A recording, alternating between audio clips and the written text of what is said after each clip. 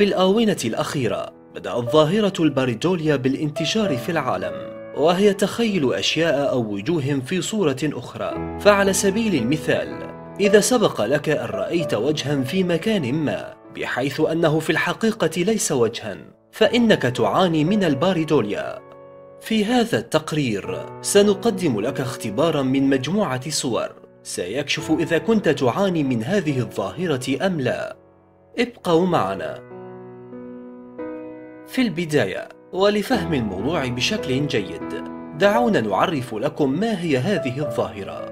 الباريدوليا هي إسقاط بصري تدفع الشخص إلى الاعتقاد بأن أي مؤثر عشوائي مبهم قد يكون مهما مثل تخيل صور للحيوانات في السحاب أو رؤية وجه رجل في سطح القمر أو سماع أصوات خفية في التسجيلات عند تشغيلها عكسيا. وهذا الإسقاط في المجمل عبارة عن تفسير خاطئ للأشياء بأكثر من طريقة بواسطة ربط عدة أشياء معا وإعطائها في النهاية أهمية تفوق حجمها بكثير.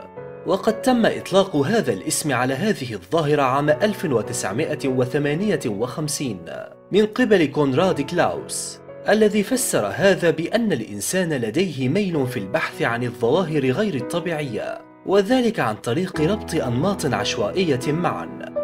حسنا. سندعكم مع مجموعة من الصور. فإذا كنت ترى وجوها أو تجسيدا لحيوانات أو لمخلوقات غريبة فهذا يعني بأنك تعاني من ظاهرة الباريدوليا